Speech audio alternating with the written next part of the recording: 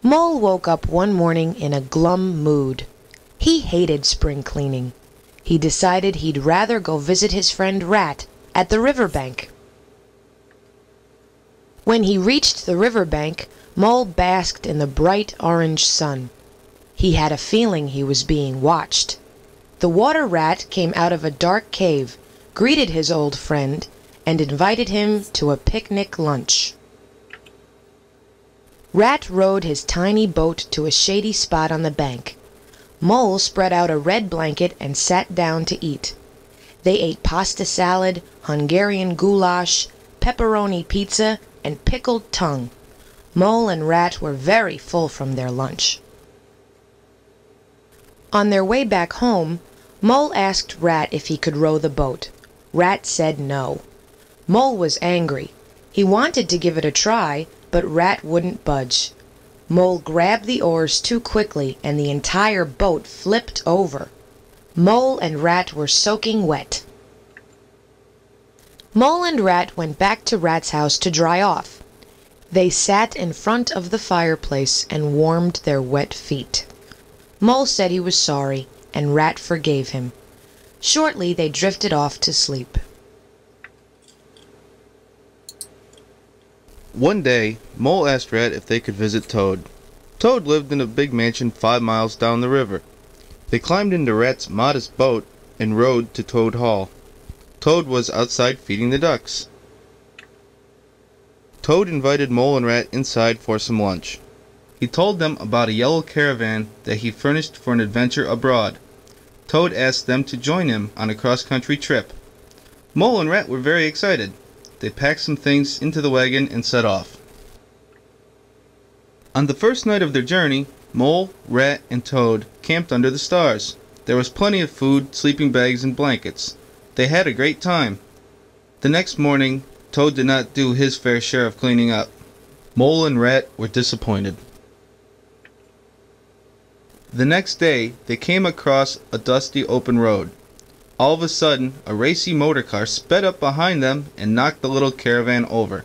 No one was injured, but the wagon was now a worthless heap of trash. Mole shook his head in sorrow, Rat yelled at the reckless driver, and Toad sat in the middle of the road, dazed and filled with wonder. After they reported the accident to the police, Mole, Rat, and Toad went to the nearest car dealership. The salesman showed Toad all of the latest models. Toad picked the fastest and most expensive car on the lot, without even taking it for a test drive. Toad raced out of town with Mole and Rat in the back seat. They couldn't wait to get back to the riverbank. One day, Mole wanted to go to the wild wood. Rat said it was a very dangerous place and that he shouldn't go alone.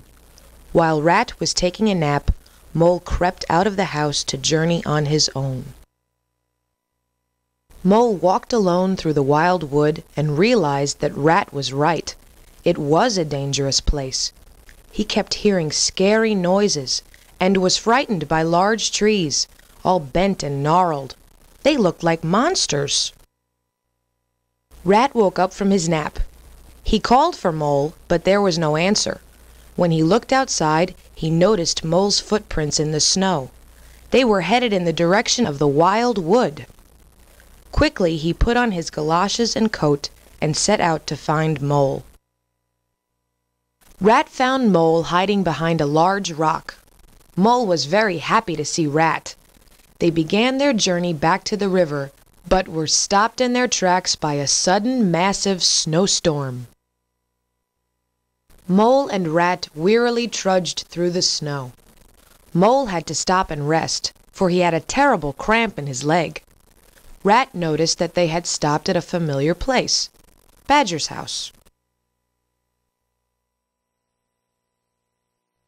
Rat and Mole knocked on Badger's door loudly. Badger came to the door and brought his two friends inside. He made them dinner and gave them a room to sleep in for the night. The next morning, Mole and Rat woke up to find that they had slept in.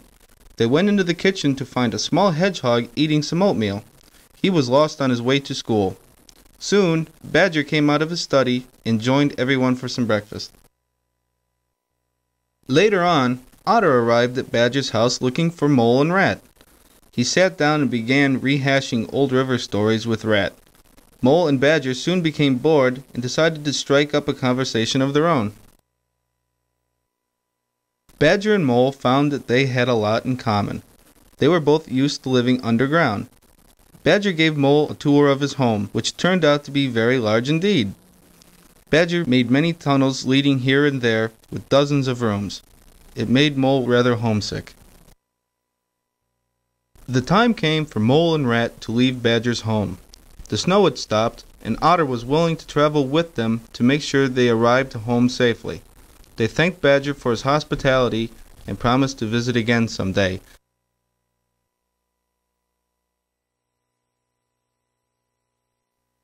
Otter stood by the ford looking for his young son, Portly, who had not come home for dinner.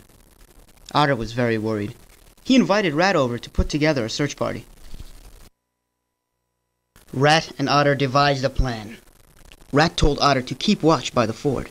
He and Mole would row down the river with searchlights to look for Portly. Rat tried to put Otter's mind at ease. Mole and Rat climbed into the tiny rowboat and began their search for Portly. The moon shone brightly, casting shadows of large trees over the water. The wind whistled through the reeds in perfect rhythm with the crickets that chirped in the night. As they rode on, Mole remembered the legend of the piper at the gates of dawn. He was a kind creature who protected those who lost their way. They came to a place in the river, an unknown island shrouded with trees. They saw little Portly nestled under an oak tree, with a golden panpipe at his feet. When they reached the ford, Portly got out of the boat and ran into his father's arms. Otter waved to Mole and Rat in thanksgiving, happy at last with his son safe and sound. Mole and Rat returned home, quite proud of the good deed they had accomplished.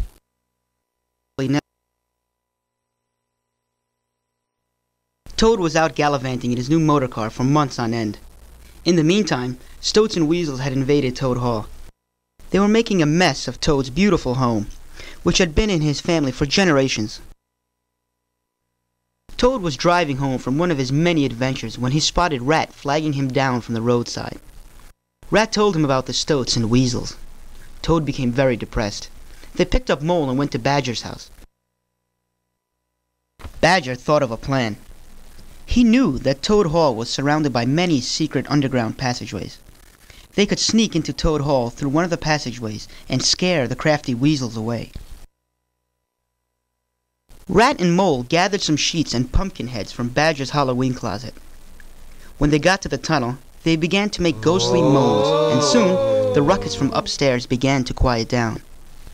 Dressed as goblins, they sprang up through a trapdoor in the middle of Toad's banquet hall, screaming,